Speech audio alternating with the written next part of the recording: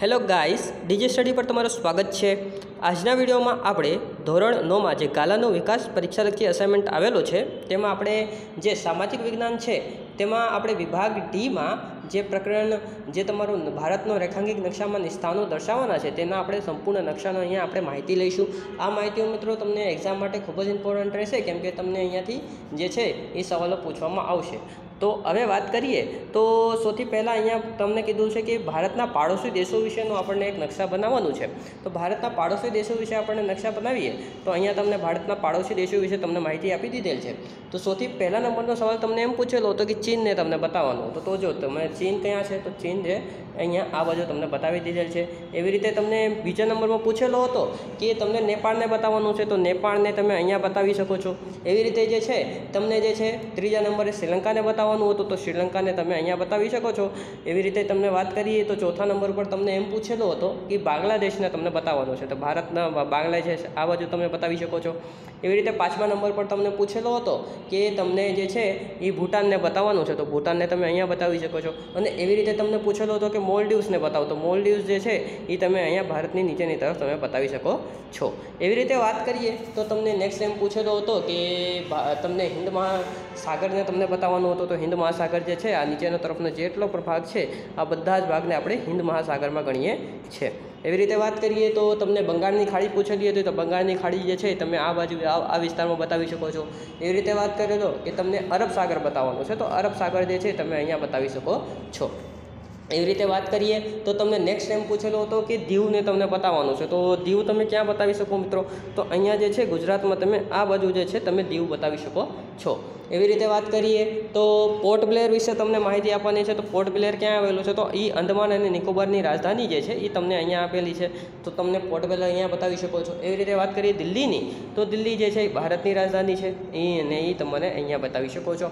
એવી રીતે વાત કરીએ તો તમને નેક્સ્ટ પૂછેલો હતો કે કવરતીની. તો કવરતી વિશે જે હતો, તમને વાત કરીએ તો કવરતી જે છે, તમે અહીંયા બતાવી શકો છો. એવી રીતે વાત કરીએ તો તમને જે છે રેખાંશ વૃત્તને જે તમને રેખાંશ વૃત્ત બતાવવાનું હતું, તો અડસઠ પોઈન્ટ પાંચ રેખાંશ વૃત્ત ક્યાં આવેલું હશે? તો મિત્રો, અહીંયા જે અડસઠ પોઈન્ટ પાંચ રેખાંશ વૃત્ત જે છે એ તમને આપી દીધેલ છે. તો અહીંયા જે છે એ અડસઠ પોઈન્ટ પાંચ પૂર્વ રેખાંશ વૃત્ત આવેલું હશે. એવી રીતે વાત કરીએ તો તમને નેક્સ્ટ પૂછેલો એમ હતો કે જે છે ભારતની પ્રમાણ લેખા સમય જે છે, બ્યાસી પોઈન્ટ ત્રીસ તો એ તમને જે છે, ભારતની પ્રમાણ સમય લેખા આ બતાવી દીધેલ છે. તો આવી રીતે જે છે, ભારતનું પ્રમાણ સમય રેખા તમે કરી લેજો. એવી રીતે તમને કર્કવેદ બતાવવાનું હતું તો કર્કવેદ જે છે તમને અહીંયા આવી રીતે બતાવી દીધેલ છે. તો આવી રીતે જે છે, જો તમને પૂછાશે તો આવી રીતે કર્કવૃત્ત તમને બનાવી દેવાનું રહેશે. એવી રીતે વાત કરીએ પ્રકરણ નંબર ચૌદમાંથી, તો પ્રકરણ નંબર ચૌદમાંથી તમને જે છે, ઘાટો અને ઉચ્ચ પ્રદેશો અને જમીન વિશે તમને માહિતી પૂછેલી હતી. તો એમાં જે છે, તમને અરવલ્લી પર્વત પર્વત વિશે પૂછેલું હતું. તો અરવલ્લી પર્વત તમે ક્યાં બતાવી શકો છો મિત્રો? તો આ જે છે ને સંપૂર્ણ વિસ્તાર, તેને તમે અરવલ્લીનો વિસ્તાર કરી શકો છો. તો અહીંયાથી જે ગુજરાતથી લઈને જે આ તમારો સંપૂર્ણ વિસ્તાર જે છે, આ વિસ્તારમાં તમે અરવલ્લીને બતાવી શકો છો. એવી રીતે વાત કરીએ તો તમને પશ્ચિમ ઘાટ પૂછેલો હતો, તો પશ્ચિમ ઘાટ જે છે તમે અહીંયા બતાવી શકો છો. જે ભારતના સમુદ્ર, પશ્ચિમ તરફનો જે સમુદ્ર કિનારાનો વિસ્તાર છે, તેને આપણે પશ્ચિમ ઘાટ તરીકે ઓળખીએ છીએ. એવી રીતે તમને જે નેક્સ્ટ ત્રીજા નંબરનું પૂછેલો હતો કે કારાકોરમ ઘાટ તમને બતાવવાનું છે. તો યાદ રાખજો મિત્રો, કે આ જે હિમાલયનો સૌથી ઉપરનો જે ભાગ આવેલો હોય છે ને, તેને આપણે કારાકોરમ ઘાટ કહેવામાં આવે છે. અને એ ભારતનો સૌથી મોટા, સૌથી ઊંચો પર્વત પણ આ જ ઘાટમાં આવેલો છે. એવી રીતે વાત કરીએ તો તમને ભારતીય મહામરુસ્થળ વિશે વાત માહિતી આપવાની હતી. તો મિત્રો યાદ રાખજો કે ભારતીય મહામરુસ્થળ જે છે, એ થારનો રેગિસ્તાન તેને ગણવામાં આવે છે. અને ભારતનો મહા મહામરુસ્થળ જે છે, એ તમને રાજસ્થાનમાં તમને આ બાજુના વિસ્તારમાં તમને બતાવી શકો છો. જે તમને અહીંયા હું બતાવીએ છીએ તો આ વિસ્તારમાં તમે જે છે, ભારતીય મહામરુસ્થળને બતાવી શકો છો. એવી રીતે વાત કરીએ તો માળવાનું તમને ઉચ્ચ પ્રદેશ બતાવવાનું છે. તો આ જે છે, સંપૂર્ણ વિસ્તાર જે છે, આ જે સંપૂર્ણ વિસ્તાર છે તેને આપણે માળવાનું ઉચ્ચ પ્રદેશમાં ગણીએ છીએ. તો તમને માળવાનું ઉચ્ચ પ્રદેશ આવી રીતે બતાવી દેવાનું રહેશે. એવી રીતે રેટેલાઇટ જમીનનો તમને પ્રદેશ બતાવવાનો છે. તો હવે લેટેરાઇટ જમીનની વાત કરીએ, તો જે છે તમારો લેટેરાઇટ જમીન જે છે એ તમે અહીંયા જે તમારો પશ્ચિમ ઘાટ છે ને, પશ્ચિમ ઘાટની અંદર તમે અહીંયા આ બાજુનો સંપૂર્ણ વિસ્તાર જે છે તેમાં તમે લેટેરાઇટ જમીનનો એક વિસ્તાર પ્રદેશ બતાવી શકો છો. એવી રીતે કાળી જમીન તમને બતાવવાનું છે. હવે મિત્રો યાદ રાખજો મિત્રો કે કાળી જમીન જે છે એ જ્યાં તમને મગફળી સરખી રીતે તમને જોવા મળતી હોય તમારી મોસ્ટ ઓફલી કાળી જમીન હશે તો તમે એ વસ્તુ જે છે એ મહારાષ્ટ્રમાં પણ બતાવી શકો છો. અને એવી એની સાથે સાથે તમે ગુજરાતમાં જે સૌરાષ્ટ્ર તરફનો જે વિસ્તાર છે એ વિસ્તારમાં પણ કાળી જમીન જમીન તમને જોવા મળશે. મહારાષ્ટ્રમાં પણ તમને કાળી જમીન તમને જોવા મળે છે. અથવા તો આ માળવાનો જે ઉચ્ચ પ્રદેશો જે છે, આ બાજુ આ બાજુના વિસ્તારોમાં પણ તમને જે છે, કાળી જમીન જોવા મળે છે. એવી રીતે વાત કરીએ તો કાપની જમીન ધરાવતો પ્રદેશ. તો યાદ રાખજો મિત્રો કે ગંગા કિનારાના જેટલા પણ પ્રદેશો હશે ને એ બધા જ કાપ, કાપની જમીન ધરાવતા પ્રદેશો હશે. સો અહીંયા તમે જોશો તો ઉત્તર પ્રદેશ તમે લઈ શકો છો, એવી રીતે આ બિહારને પણ તમે લઈ શકો છો, એવી રીતે પશ્ચિમ બંગાળને આ જે બધા જ જે પ્રદેશો છે ને, આ બધા જ પ્રદેશો કાપની જમીન ધરાવતા પ્રદેશો છે. તો અહીંયા અમે ઉત્તર પ્રદેશને લઈ લીધું છે, તો એવી રીતે તમને લઈ લેવાનું રહેશે. એવી રીતે વાત કરીએ તો રાતી જમીન ધરાવતો પ્રદેશ.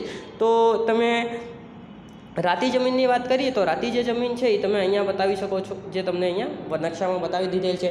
એવી રીતે તમને હવે નેક્સ્ટ પૂછેલો હતો કે શિલ્પ સિપકીલા ઘાટ તમને બતાવવાનું હતું છે, તો સિપકીલા ઘાટ જે છે તમને અહીંયા તમને જોવા મળે છે. તો આવી રીતે જે છે એ તમારો સંપૂર્ણ નકશો આવશે. એવી રીતે વાત કરીએ આપણે, તો નેક્સ્ટ સવાલ પ્રકરણ નંબર પંદરમાંથી આપણને પૂછેલો હતો કે કેટલાક સરોવરોને જે આપણને બતાવવાનું હતું અને કેટલાક નદીઓને આપણને બતાવવાનું હતું. તો એને પણ આપણે સંપૂર્ણ માહિતી લઈએ મિત્રો.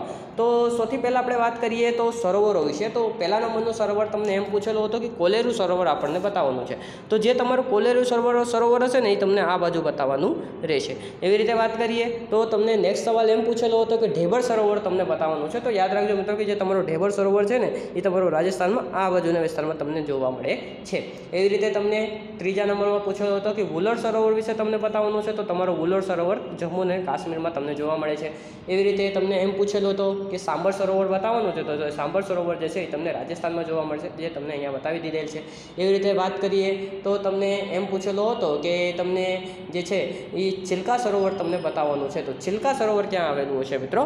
તો જે તમારું ચિલ્કા સરોવર જે છે ને, એ તમને જે છે, આ બાજુ તમને જોવા મળશે, તો આ જે છે, એ તમારું ચિલ્કા સરોવર હશે. એવી રીતે વાત કરીએ તો નેક્સ્ટ સવાલમાં તમને એમ પૂછેલો હતો કે તમને પુલિકટ સરોવર બતાવવાનું છે, તો તમારું પુલિકટ સરોવર જે છે, એ આ બાજુ આવશે. તો તમને અહીંયા જે છે પુલિકટ સરોવર બતાવી દીધેલ છે, તો તમે જોઈ લેજો.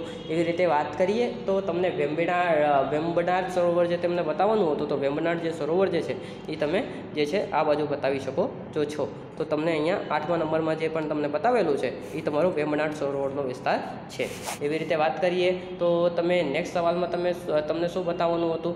તો નેક્સ્ટ સવાલમાં તમને એમ બતાવવાનું હતું કે જે પણ ભારતના જે નદીઓ જે છે, એ નદીઓ વિશે તમને માહિતી આપવાની હતી. તો સૌથી પહેલાં નર્મદા નદી, નદીની વાત કરીએ તો નર્મદા નદી જે છે, એ તમારું જે છે, એ મધ્યપ્રદેશમાંથી નીકળે છે અને મધ્યપ્રદેશમાંથી નીકળીને પછી તમારો એ જે છે, ગુજરાતમાં આવીને જાય છે. તો આ જે છે, નર્મદા નદી તમને બતાવી દીધેલ છે, તો એવી રીતે જે નર્મદા નદી છે તમને બતાવી દેવાનું રહેશે. એવી રીતે વાત કરીએ તો તમને તાપી નદી વિશે બતાવવાનું છે, તો નર્મદાની સાથે જ જે સમાંતરમાં જશે, આ તે છે, એ તમારું તાપી નદી છે. તો તમને આ તાપી નદી બતાવી દેવાનું હશે. એવી રીતે વાત કરીએ તો મહી મહી નદી વિશે તમને બતાવવાનું હતું. તો જે તમારું મહી નદી છે એ તમને અહીંયા બતાવી દીધેલ છે. તો જે છે, તમને મહી નદીને જે સંપૂર્ણ માર્ગ છે એ તમને અહીંયા બતાવેલો છે. તો આવી રીતે જે છે સંપૂર્ણ મહી નદી તમે બતાવી દેવાનું રહેશે. એવી રીતે વાત કરીએ તો કૃષ્ણા નદી વિશે. તો જે તમારો કૃષ્ણા નદી છે એ તમને જે છે એ તમે સાઉથ તરફ તમે જોશો તો તમને એ કૃષ્ણા નદી જોવા મળશે. તો આવી રીતે જે છે એ તમે કૃષ્ણા નદી તમને જે છે બતાવી દેવાનું રહેશે. એવી રીતે વાત કરીએ તો અહીંયા કૃષ્ણા નદી બતાવ્યા પછી આપણને જે છે નેક્સ્ટમાં આપણે જઈએ. તો તમને નેક્સ્ટ ટાઈમ પૂછેલો હતો કે જે છે એ તમને જે છે કાવેરી નદી બતાવવાનું છે, તો કાવેરી જે નદી છે એ કાવેરી નદી તમને બતાવી દેવાનું રહેશે કે જે તમને અહીંયા સાઉથમાં બતાવેલી છે. તેને સાઉથની એટલે કે જે છે, તમને દક્ષિણની ગંગા પણ કહેવામાં આવે છે, જે તમને અહીંયા નીચે તરફ સાતમા નંબર પર બતાવી દીધેલો છે. એવી રીતે તમને એક સવાલ હજી પૂછેલો હતો કે જે તમારો હતો સાબરમતી નદી વિશે, તો સાબરમતી નદી તમારો ક્યાં હશે? તો જે તમારો સાબરમતી નદી છે એ પણ તમને અહીંયા આપી દીધેલ છે. તો આ જે છે એ સાબરમતી નદી છે. તો આવી રીતે જે છે, સંપૂર્ણ માહિતી તમને જે છે, અહીંયા આપી દીધેલો છે. એવી રીતે વાત કરીએ તો પ્રકરણ નંબર આઠમાં અઢારમાંથી તમને જે છે કેટલાક વન્ય અભયારણ્યો આપણને બતાવવાના હતા, કેટલાક પક્ષી અભયારણ્યો બતાવવાના હતા અને કેટલાક રાષ્ટ્રીય ઉદ્યાનો આપણને બતાવવાના હતા. તો એની વિશે પણ આપણે માહિતી લઈએ. તો વાત કરીએ સૌથી પહેલાં આપણે તો વન્ય અભયારણ્યની વાત કરીએ તો પહેલાં અભયારણ્ય વન્ય અભયારણ્ય હતું, જે તમારું હતું રાજાજી અભયારણ્ય. તો જે તમારું રાજાજી અભયારણ્ય જે છે ને, તમને આ બાજુ બતાવી દેવાનું રહેશે, ભારતમાં જે છે તમારો હિમાચલ પ્રદેશના વિસ્તારમાં તમને આ જોવા મળે છે. અથવા તો તમે હિમાચલ પ્રદેશ અને અને જે તમારું ઉત્તરાખંડ છે એ બંનેને વચ્ચેના વિસ્તારમાં તમને મોસ્ટ ઓફલી જોવા મળશે.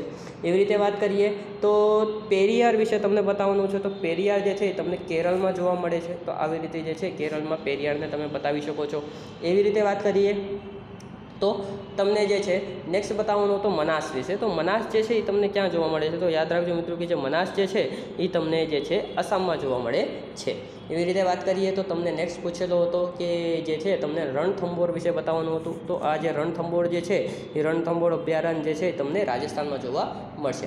એવી રીતે વાત કરીએ તો રણથંભોર પછી તમને નેક્સ્ટ એમ પૂછેલો હતો કે તમને જે છે સુંદરવન વિશે બતાવવાનું છે. તો યાદ રાખજો મિત્રો કે જે સુંદરવન જે છે એ તમને અડધો ભાગ જે છે પશ્ચિમ બંગાળમાં તમને જોવા મળે છે અને થોડાક એવો ભાગ જે છે એ બાંગ્લાદેશમાં પણ જોવા મળે છે. તો અહીંયા જે છે, પશ્ચિમ બંગાળના ભાગમાં જે છે, તમે સુંદરવન બતાવી દેજો.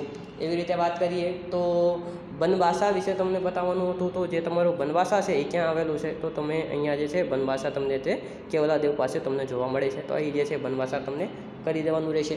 એવી રીતે તમને નેક્સ્ટ એમ પૂછેલું હતું કે સરિસ્કા વિશે તમને બતાવવાનું છે, તો સરિસ્કા જે છે અભયારણ્ય તમારો ક્યાં આવેલો છે એ પણ તમને બતાવવાનું હતું. તો જે તમારો સરિસ્કા અભયારણ્ય જે છે તમને અહીંયા જોવા મળે છે. તો હરિયાણા તરફ તમને આ જોવા મળશે, તો તમને અહીંયા તેની માહિતી પણ આપી દીધેલ છે. એવી રીતે વાત કરીએ તો પક્ષી અભયારણ્ય વિશે, તો પક્ષી અભયારણ્યમાં તમને પૂછેલું હતું કે નળ સરોવર. તો જે છે, નળ સરોવર તમને ગુજરાતમાં જોવા મળે છે. તો અહીંયા જે છે, એ નળ સરોવર તમને આપી દીધેલું છે. એવી રીતે વાત કરીએ તો તમને નેક્સ્ટ એમ પૂછેલું હતું કે કેવલાદેવ તમને જે છે, રાષ્ટ્રીય અભયારણ્ય જે છે, એ તમને બતાવવાનું હતું. તો કેવલાદેવ અભયારણ્ય જે છે તમને અહીંયા રાજસ્થાન અને જે છે, એ બાજુ તમને જોવા મળે છે. એવી રીતે વાત કરીએ તો કેવલાદેવ પછી જે છે, તમે રંગ રંગન, ઠિટ્ટુ જે છે એ તમને બતાવવાનું હતું તો જે તમારું રંગન ઠિટ્ટુ છે એ કઈ બાજુ આવેલો છે એ પણ તમને બતાવવાનું રહેતું હતું. તો વાત કરીએ તો જે તમારું રંગન જે છે, એ તમને અહીંયા જે છે, સાઉથમાં તમને, કર્ણાટકમાં તમને જોવા મળે છે. એવી રીતે વાત કરીએ તો વેન્ડંગ તાલ, તાંગલ જે છે, એ તમને બતાવવાનું હતું. તો વેન્ડંગ તાંગલ જે છે, એ તમને તમિલનાડુમાં જોવા મળે છે. તે તમને અહીંયા બતાવી દીધેલ છે. એવી રીતે જે છે, તમને પક્ષી અભયારણ્યો વિશે તો થઈ ગયું. આ પછી જે છે, તમને રાષ્ટ્રીય ઉદ્યાનો વિશે વાત કરીએ તો પહેલો રાષ્ટ્રીય ઉદ્યાન તમને કાજીરંગા રાષ્ટ્રીય ઉદ્યાન આપેલો છે. તો યાદ રાખજો કે કાજીરંગા રાષ્ટ્રીય ઉદ્યાન જે છે તમને આસામમાં જોવા મળે છે. હવે એ જે છે, કે એક સિંગી ગેંડા માટે પ્રસિદ્ધ છે. તો એ તમને યાદ રાખવાનું રહેશે. એવી રીતે બીજા નંબરનો જે સવાલ છે કે વેળાવદર તમને રાષ્ટ્રીય ઉદ્યાન તમને બતાવવાનું છે. તો જે તમારો વેળાવદર રાષ્ટ્રીય ઉદ્યાન જે છે એ તમને ગુજરાતમાં અહીંયા તમને જોવા મળે છે. એવી રીતે વાત કરીએ તો વેળાવદર પછી જે છે તમને નેક્સ્ટ એમ પૂછેલો હતો કે તમને બતાવવાનું છે કે સિમ્પલીપાલ જે છે એ તમારો કઈ બાજુ આવેલો છે? તો જે તમારો સિમ્પલીપાલ જે છે ને એ તમને અહીંયા ચૌદ નંબરમાં તમને અહીંયા બતાવી દીધેલ છે. તો આ જે છે તમારો સિમ્પલીપાલ છે. એવી રીતે જે છે તમને પૂછેલું હતું કે સંજય ગાંધી રાષ્ટ્રીય ઉદ્યાન તમને ક્યાં આવેલું હશે, તો એ જે સંજય ગાંધી રાષ્ટ્રીય ઉદ્યાન છે તમને મહારાષ્ટ્રમાં જોવા મળે છે. એવી રીતે વાત કરીએ તો સંજય ગાંધી પછી તમને દત્તીગામ રાષ્ટ્રીય ઉદ્યાન તમને પૂછેલું હતું, તો દત્તીગામ રાષ્ટ્રીય ઉદ્યાન જે છે એ તમને અહીંયા આપી દીધેલ છે, જે તમને જમ્મુ અને કાશ્મીરમાં તમને જોવા મળે છે. એવી રીતે આ પછી જે છે દત્તીગામ પછી તમને જે છે છઠ્ઠા નંબરનું જે છે કાન્હા રાષ્ટ્રીય ઉદ્યાન વિશે તમને બતાવવાનું હતું. તો જે તમારું કાન્હા રાષ્ટ્રીય ઉદ્યાન જે છે ને એ તમને મધ્યપ્રદેશમાં તમને જોવા મળે છે. એવી રીતે વાત કરીએ તો કાના પછી તમને બાંદીપુર આપેલું છે. તો જે બાંદીપુર રાષ્ટ્રીય ઉદ્યાન જે છે એ તમને જે છે એ કર્ણાટકા અને અડધું કેરળમાં તમને બંને તરફ તમને જોવા મળે છે. તો તે છે તમને અહીંયા બાંદીપુર રાષ્ટ્રીય ઉદ્યાન તમને અહીંયા આપી દીધેલું છે. તો finally this is the end of our lecture thanks for watching this and God bless you all